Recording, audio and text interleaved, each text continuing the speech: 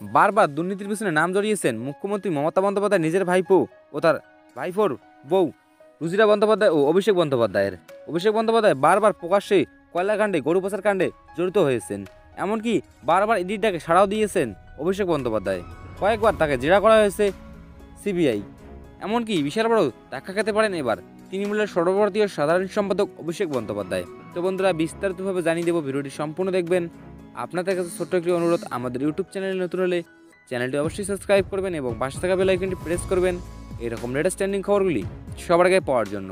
একুশে নির্বাচনে তৃণমূল কংগ্রেস তৃতীয়বার ক্ষমতায় এসে যেভাবে বাংলার প্রতিটা জেলায় জেলায় দুর্নীতি ছড়িয়েছেন, যেভাবে কয়লাখণ্ডে বারবার প্রকাশ্যে নাম জড়িয়েছেন, অভিষেক বন্দ্যোপাধ্যায়ের, তার জন্য সাধারণ মানুষ এবার খেপে গিয়ে এবার বিজেপিকে ক্ষমতায় আনবেন বলে দাবি করেছেন রাজ্যের বিরোধী নেতা শুভেন্দু অধিকারী। এবার এর বিরুদ্ধেই মুখ খুললেন অভিষেকও। অভিষেক স্পষ্ট দাবি করলেন যে তার বিরুদ্ধে যদি কেউ এক পয়সার দুর্নীতি প্রমাণ দিতে পারেন, তাহলে রাজনীতি ছেড়ে দিয়ে হাসতে হাসতে ফাঁসির ফাঁসি চলে যাবেন অভিষেক। এমনটাই কিন্তু এবার শহরে দাবি করলেন অভিষেক বন্দ্যোপাধ্যায়।